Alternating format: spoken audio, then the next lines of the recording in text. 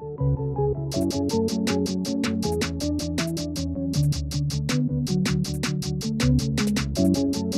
to the Kei Car Special. We're gonna talk about the Suzuki Cappuccino, the Honda Beat, and the Suzuki Alto Works. We're gonna drive all three, and we're gonna just compare and see which one is the most worth it for that price. First and foremost, we'll start off with the Suzuki Alto. This one is a front wheel drive turbo automatic.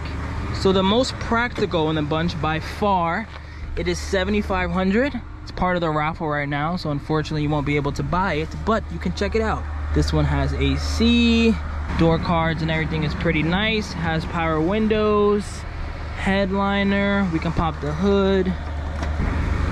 Here's what you have under the hood. This one is a single cam.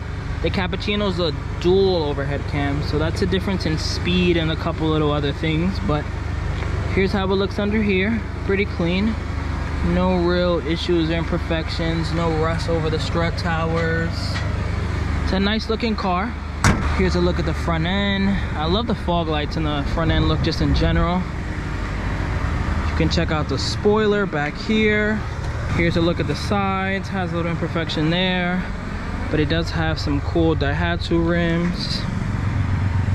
Other side is mint. This opens like that. It's a little too close to that, so I'm not gonna open it. Here's the key to the Suzuki. I'm gonna start it right now. All the lights light up. We'll drive this one a little bit around the lot. All right, so off the back, this car is obviously the most comfortable, the most practical by far. My seat even goes back more. And most importantly, I could do this. None of the other two cars can do that. So you could sleep back here, you can just chill back here. You can go on a long trip and just be like, oh, I'm tired of driving. Let me just lay back a little bit. You can't really do that in the Cappuccino or the Beat. So that's one big pro on the Suzuki. And it's automatic, which to each his own. I get it. Automatics are definitely a little more scarier to take on. If I'm gonna spend all this money, do I really want to get myself an automatic? But now that I'm in an automatic though, I can just sit like this. I can cruise, I can chill. And this one is still front wheel drive and turbo. I don't think it's as fast as the Cappuccino, but it definitely is just as peppy. Probably faster than the Beat most likely, I'm gonna be honest. I'm gonna gun it down this other road, but right now I'm just chilling, enjoying the time. I got my power windows. Let me put them up really quickly and I'll gun it right here. This thing is fast. You even hear the turbo spool. This one is gonna be hard to beat when it comes to worth it. Like for 7,500, this is the cheapest car out of the three. It's the most spacious. It's the most, I don't want to say the most luxurious, but the fact that I'm able to do like stuff like this, just put my seat up and back. It still has AC, it still has a radio, it still has all the good stuff, it still has wipers. I think it even has a, yeah, it even has a rear wiper. Where's the button to that? Even has a rear wiper. It has all the good amenities and you can fit more people in this car.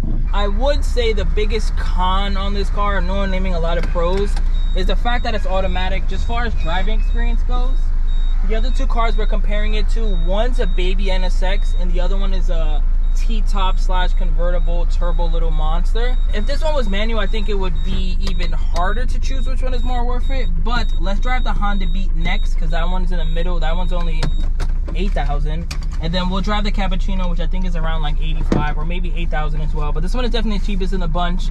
I'll show you guys the interior one last time. Everything works, everything is nice and clean. Like look how much leg room I have compared to the dash. Look how much arm room I have. I even have something here. The Cappuccino definitely does not have that. Like I mentioned, you got back seats. Not the most spacious, but at least you have rear seats.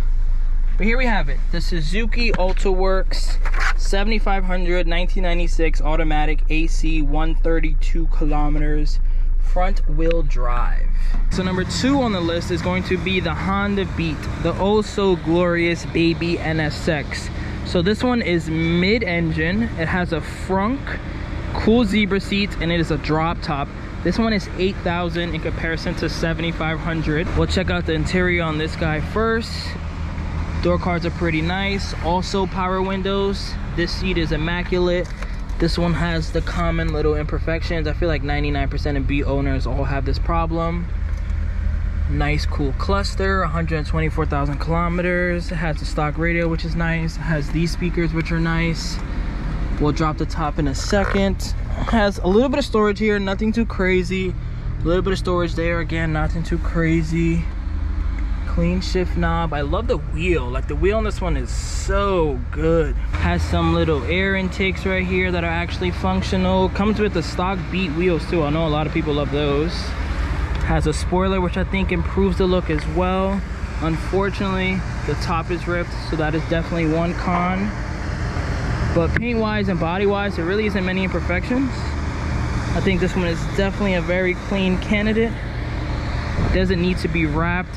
Doesn't really need anything. It's pretty nice. Now let me pop the trunk, AKA the hood. And here you have your glorious storage for your road trips, along with a new battery, which is nice. You can see some of the engine here, not much. I think you put in oil from here someone let me know one of you honda guys but here's really all the excitement back here not much it is a baby nsx though like i said so that's cool and then let me pop the frunk here you have your spare tire some other little things you have a jack if i had this car i would definitely take this out try to clean this up as much as possible and i would definitely call this the poor man's ferrari and if i'm going shopping with a girl or something I'm definitely telling, oh yeah, put your bags over here. Like we gotta flex this. Like this isn't really any storage. I would need to take that out and put like some carpet or something and just make this look as flush as possible. This one is definitely a lot more roomier than the Cappuccino. I love the cluster too with the white face.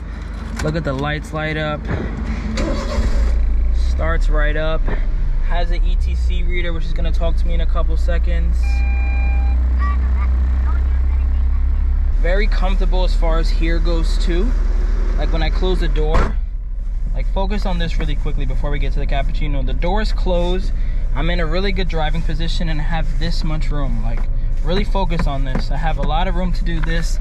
I don't feel like I'm squished. Like I'm good. I'm good. I'm like 5'9". I'm very comfortable right now. I could do a 10 hour road trip in a car just like this without a issue. And then to drop the top, I'm not gonna do it just because it has a crack and I don't wanna make it any worse. But you just have to push this, go down, and it unhooks from this guy right here. You see this little box? It unhooks from that.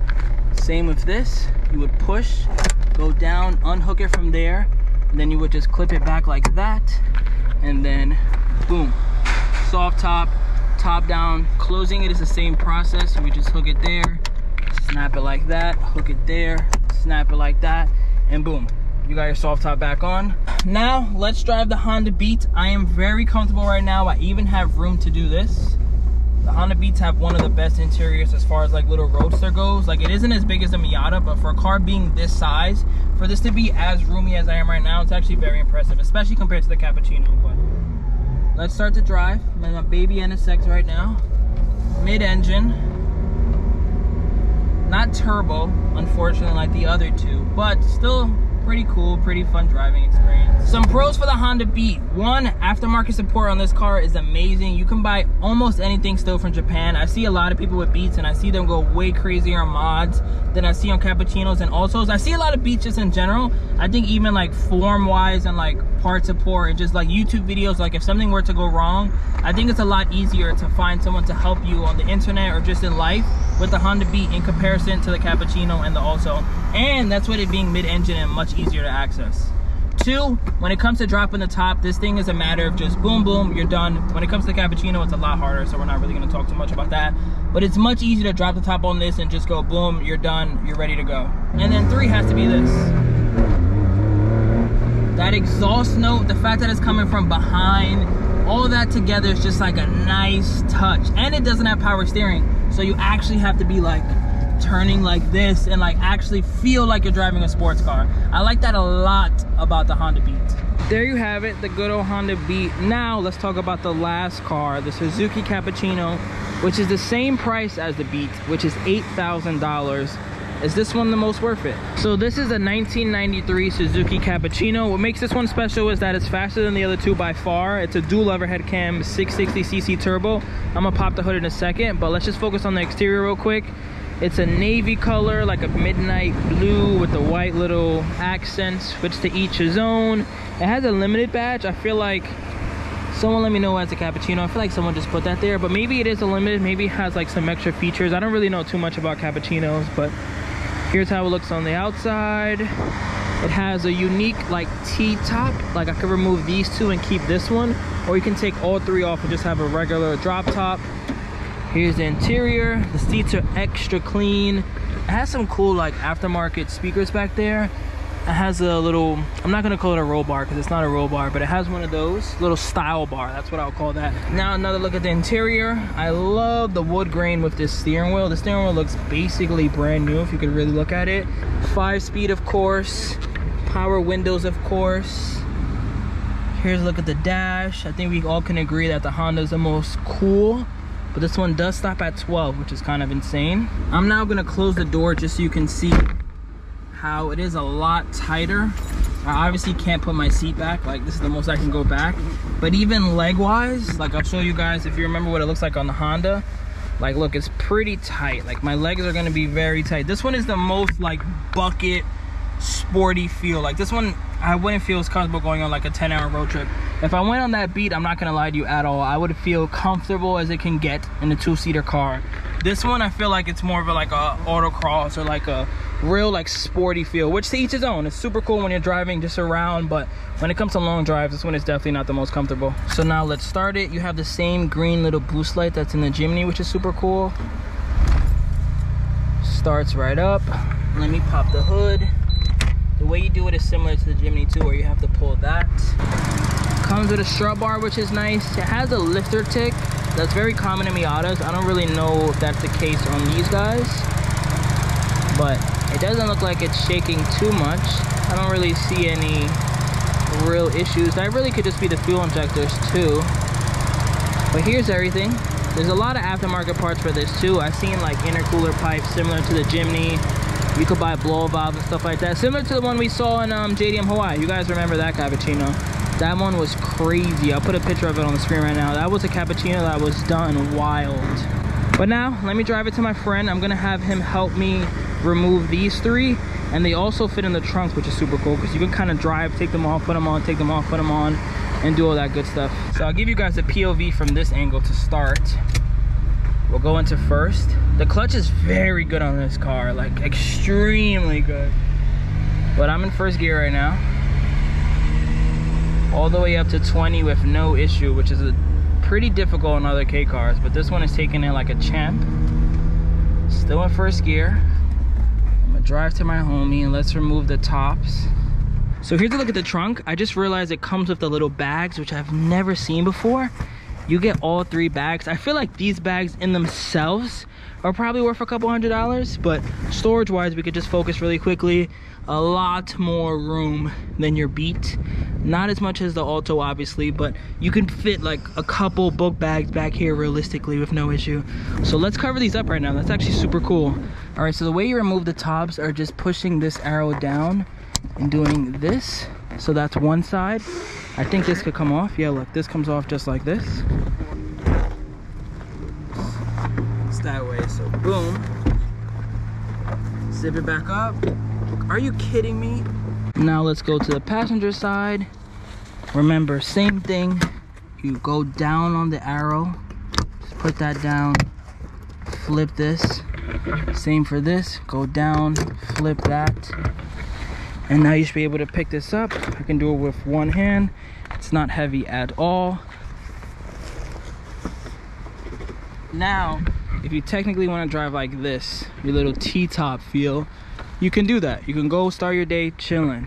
But I don't want to do that. I want to give you guys a full experience. Ta-da! All three pieces.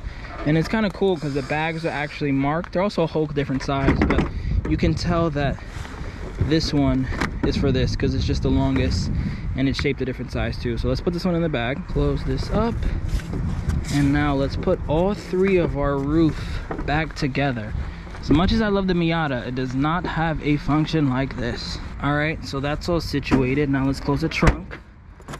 And here we have it, our convertible. Oh wait, no, there's even more. All right, so to take the last missing piece off, you have to pull this to the side, go up, and then push it down like that. And then this You press this button, turn it like that, and push that down as well. And then boom, you have your full convertible. That is a complete transformation from what it was a couple seconds ago. You drove the other two cars too. Which one's your favorite? I love the turbo on this, man. I ain't gonna Yeah. yeah, like, It really is a drastic difference. I don't And know. Am I being biased? This I mean, is this- tight. This is tight though. We we agreed to that, right? Thi- This is tight. Like, Tight as far as, in, oh like, yeah, space, like, yeah, yeah, it's yeah, like- yeah. It's not as comfortable as the B at all. yeah, It's the same price as the B too. It's just so B. crazy because they look like they're the same, you know? Yeah, this one interior, I, I I like it more. Yeah. Did you show them the wood? Yeah, showing the Yeah. wood grain. This one being turbo is just a huge difference. Must have gone third. That was a good transition to third, good, right? that's good, that's good. I be struggling to get to third for some reason. Like, you said everybody shows with that, right? People who don't know how to drive stick, yeah. Damn. Ouch. Second gear pull. Tell me that's not that's not actual like car like real That car was fast. I went back to neutral. Got scared. Cappuccino. Second though. First. Uh-huh. As someone that just drives a lot of Kei cars, like this one is just drastically faster, and it has the same engine. Like same 660cc, but like if I was in my Jimny right now, I'd be in third. And right now I'm cruising in second. But I was asking you too, like, you still in second? Yeah, like a cruising in second. In the Jimny, I'd be struggling. We give it a second gear pull over here. This is definitely the most fun driving experience out of the three, too. No, leaving by the wild. I'm not gonna wild out. I'm just gonna not shift gears.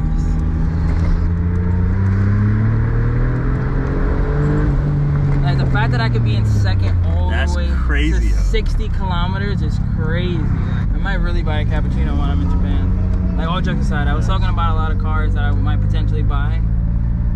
If I could find a super clean cappuccino over there, all things JDM will be sending me one back. In conclusion, we have the 3K cars here. And let me know in the comments which one you guys think is the most worth it between the Alto for 75, the Cappuccino for 8, and the Honda for 8. Me personally, I'm taking the Cappuccino just because this one needs the most work. And for me, I know I'm gonna wanna drive this thing balls to the wall, drive it all the way to Florida and stuff like that. And this one being the quickest just is a very big factor. Like I love my Jimny a lot. I think it's one of the best cars I've ever owned, but it's slow. It's slow and like I don't go off-roading if I'm gonna be 100% honest. So like that isn't a big pro for me. I don't live in like Washington State and stuff like that. Like I live in New York City where I need a small car that's quick and fun and stuff like that. And this one checks almost all the boxes. It's only $500 more than that. And then when it comes to the beat, this one is just too perfect. So like for me, I wouldn't really have a lot of videos to make. I mean, it's better that I be wrapping like a, you know, a clear canvas. But as much as I love a drop top, I rather a hard top slash drop top instead of just a drop top. Like that isn't, if I could choose between both, I'm always gonna take that. But you guys let me know in the comments, which one would you take? The Beat, Cappuccino, or Alto? I feel like a lot of people are probably gonna lean towards the Beat, but who knows, maybe they'll take this one. This one just has some imperfections that I like. But I'm in this video here. Hope you guys enjoyed that comparison. I wanna do more of these in the future. Maybe next time I'm here, I'll do one between the Acty and the Suzuki right here. Because yes, the Acty is a lot more loaded, but the Suzuki is a lot more cheaper. Like I'll show you guys this really quickly. Beautiful brown interior, Nardi wheel, AC, all the good stuff. But is it worth $2,000 more?